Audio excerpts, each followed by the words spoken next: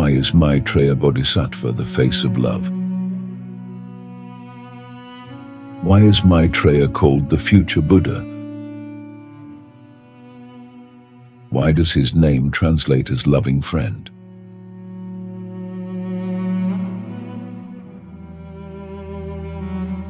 Maitreya's name gets to the heart of his practice right away. His name, Maitreya, literally translates as loving friend.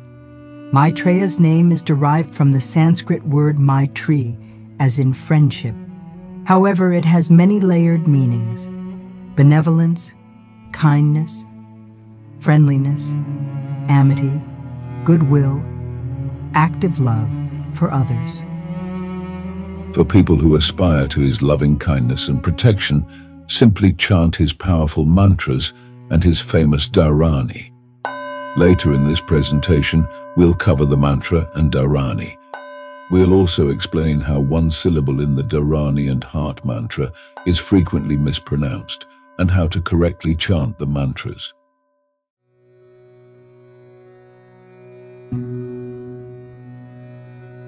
Maitreya is frequently just called Ajita, which means the unsurpassed.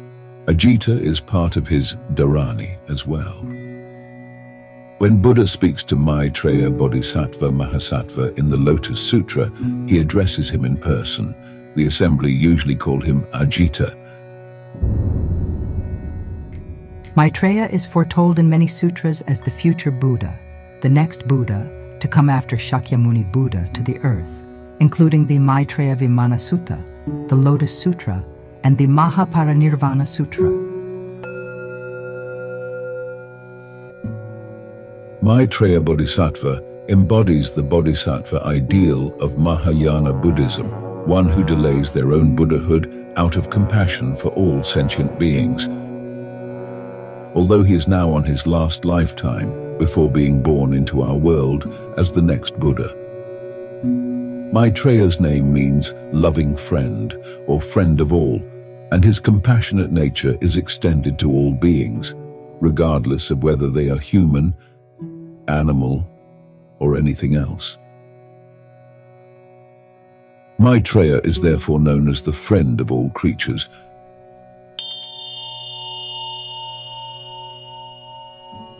How do we practice Maitreya now, in this life? As the loving friend, the compassionate one, the great bodhisattva of the highest level, his main practice is compassion. One story often told by lineage teachers to illustrate how we can see and practice Maitreya now is the wonderful and inspiring life of the great Asanga. In Lama Tsomo's book, Deepening Wisdom, Deepening Connection, this story of the great Asanga, the 4th century founder of Yogacara school, is especially poignant. Long ago in ancient India, a Dharma student named Asanga had a goal to see the future Buddha Maitreya, who was already a great bodhisattva. He then planned on getting instructions from him. He began a Maitreya practice retreat in a cave on Kukutapada mountain. Asanga spent all his waking hours every single day reciting Maitreya's mantra, visualizing him, making offerings to him and so on. This went on for six years. He never saw Maitreya, even in his dreams. No sign of any kind. Nothing. He became discouraged and gave up. After completing the closing rituals for his retreat, he packed up his things and walked down the road in despair. He came upon a man rubbing a huge iron pole with a soft cloth. What are you doing, my friend? Asanga asked. I need a needle, so I'm rubbing this pole to fashion it into a needle. Hmm, thought Asanga. It would take him a century of rubbing to do the job, yet he's persevering. Here I am, supposedly a good practitioner, and I've quit my lofty goal after only six years, and my goal is way more important and beneficial than a needle could ever be. He was embarrassed, regretful that he didn't know the meaning of persistence. He turned around and went back to the cave. For three more years, he did nothing else but pray to Maitreya continuously. Still no sign whatsoever. This time he was positive that there was absolutely no hope of seeing Maitreya, that he was wasting his life, accomplishing nothing. Again, he ended retreat, packed up his few possessions, and walked down the path.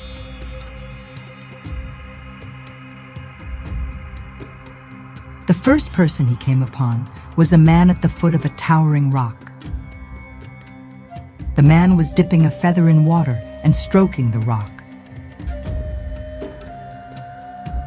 What are you trying to do here? Asanga asked, more than a little bewildered. This rock is blocking the sunlight from my house, so I'm wearing it away, the man explained. Immediately, Asanga's mind went to the thoughts of three years before, and he returned to the cave, practicing with renewed vigor. Three years passed. Nothing.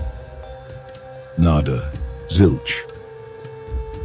Lama Tsomo then tells the emotional story of how Asanga saves a dying dog. When he turns around, the dog has transformed into a glorious Maitreya Buddha.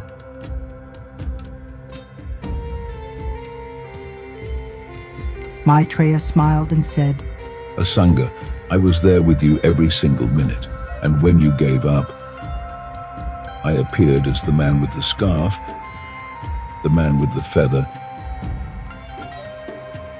and now a dog. Maitreya explained that in previous years, Asanga wasn't ready to understand what he was seeing. To prove it, he invited Asanga to go with him to town and see if anyone else could see glorious Maitreya. Lama Tsomo continues the famous lineage story. Asanga carried Maitreya on his right shoulder. He asked everyone at the market what they saw. Every one of them looked at him a little strangely and said they saw nothing.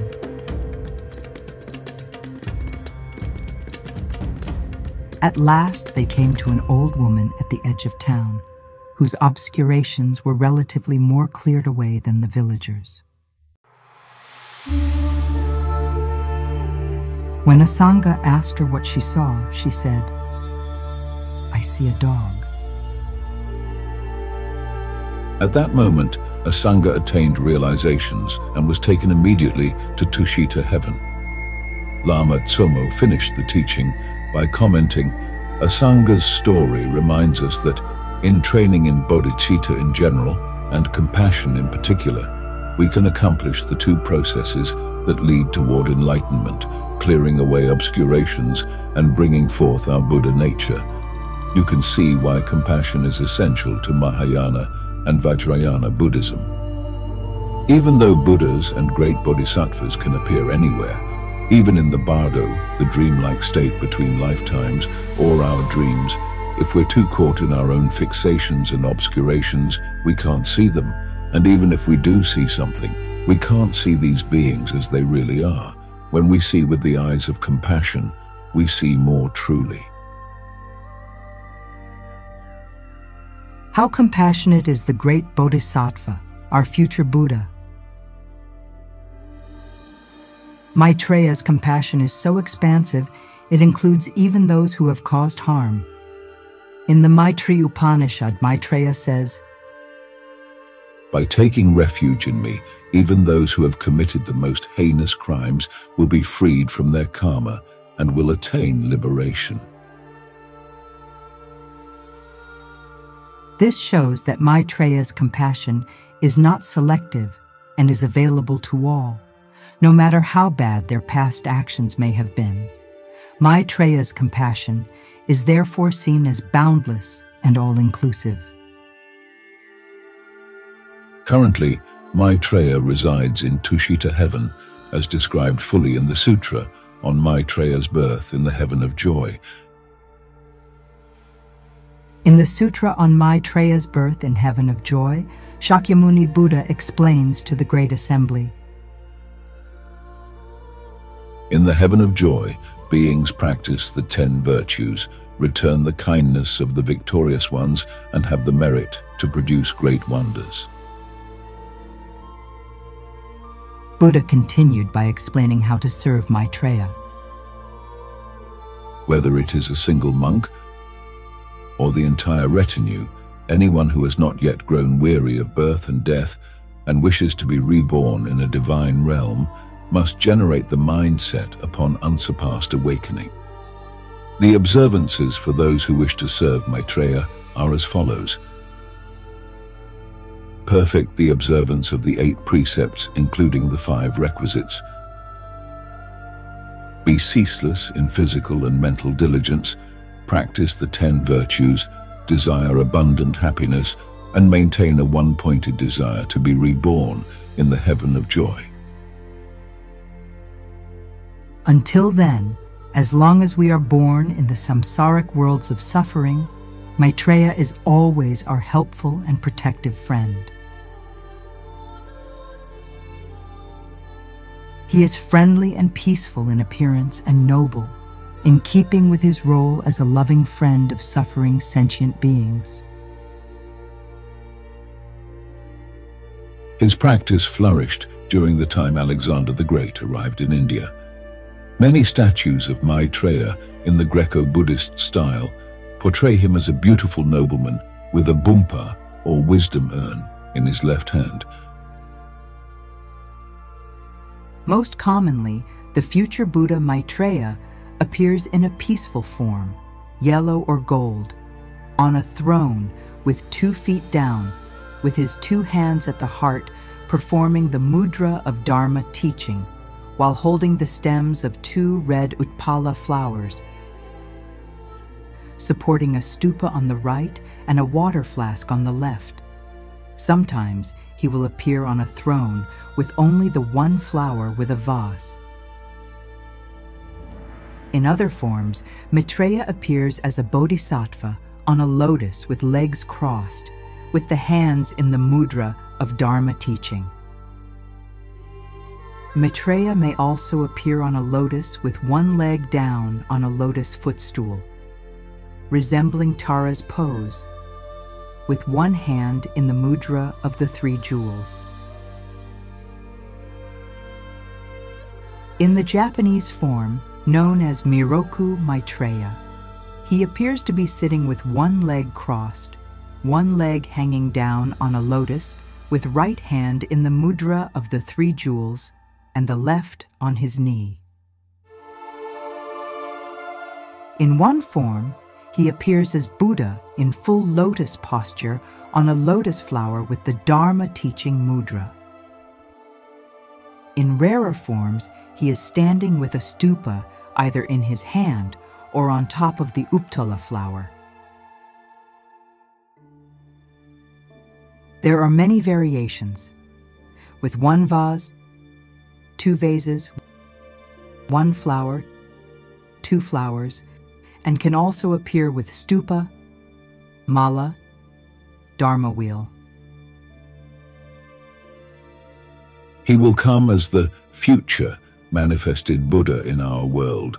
According to the prophecies of Shakyamuni Buddha, our loving friend Maitreya is reachable now through meditation, prayer, mantras, and practice. Although he resides in Tushita heaven, he is active as a compassionate bodhisattva and emanates in countless world systems as a savior bodhisattva. Simply call his name, meditate on his form, chant his mantra, and his compassionate power will reach you.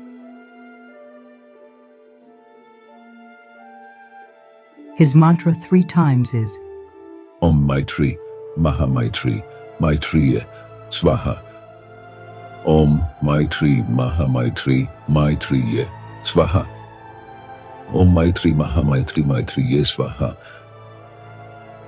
There is also a longer Dharani mantra called the Arya Maitrina Pratijna Nama Dharani. This is often translated as the mantra of Maitreya Buddha's promise. Although it should be chanted in Sanskrit, a translation of the Dharani is helpful for our practice.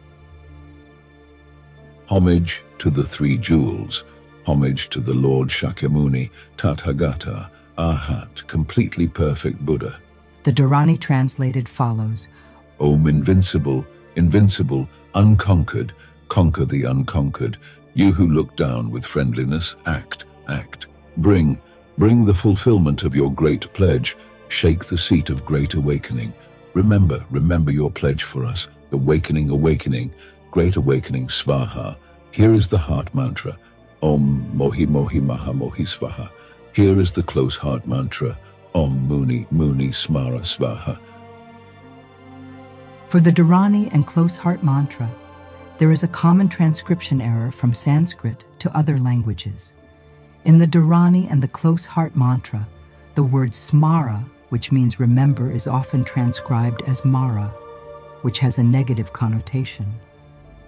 Mara was the opponent of Buddha under the Bodhi tree, and various meanings include death, suffering, and other negative associations. In the mantra, it is meant to translate as remember, remember your pledge for us. It is fairly common to see the mantra chanted Mara Mara Atmakam Samaya. However, this should be Smara Smara Atmakam Samaya to translate as Remember, remember your pledge for us. Smara is remember, Atmakam is consisting of, and Samaya is promise or oath. The Dharani in Sanskrit is Namo Bhagavate Shakyamuniye Tathagataya Arhata Samyak Sambuddhaya Tadyatha Omajite Ajite Aparajite Ajitan Chaya Hara Hara Maitri Avalokite Karakara Mahasamaya Siddhi Bhara Bhara Mahabodhi Mandavija Smara Smara Atmakam Samaya Bodhi Bodhi Mahabodhi Svaha Om Mohi Mohi Mahamohi Svaha Om Muni Muni Smara Svaha Two more times the Dharani is Namo Bhagavate Shakyamuniye Tathagataya Arhata Samyak Sambuddhaya Tadyata Om Ajite Ajite Aparajite Ajitan Chaya Hara Hara Maitri Avalokite Karakara Mahasamaya Siddhi Bhara Bhara Mahabodhi Manda Vija Smara Smara Atmakam Samaya Bodhi Bodhi Mahabodhi Svaha Om Mohi Mohi Mahamohi Svaha Om Muni Muni Smara Svaha Namo Bhagavate Shakyamuni Tathagataya Arhate Samyak Sambuddhaya Tadyata Om Ajite Ajite Aparajite Ajitanchaya Bhara Bhara Mahabodhi Mandavija Smara Smara Atmakam Samaya Bodhi Bodhi Mahabodhi Svaha Om Mohi Mohi Mahamohi Svaha Om Muni Muni Smara Svaha